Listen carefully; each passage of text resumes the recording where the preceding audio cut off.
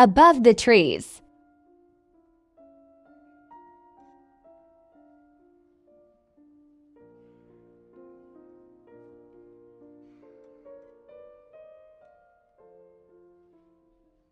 I'm almost done with my row. I just have a few stitches. On break.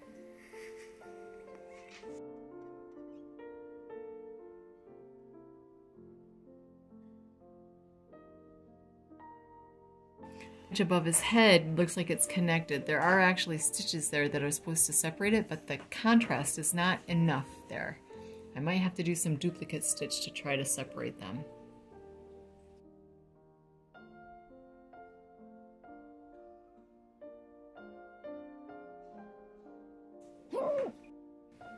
Okay, so how much more? Forever more. 25%? Maybe 25%. Left? Left to go. That's my best guess.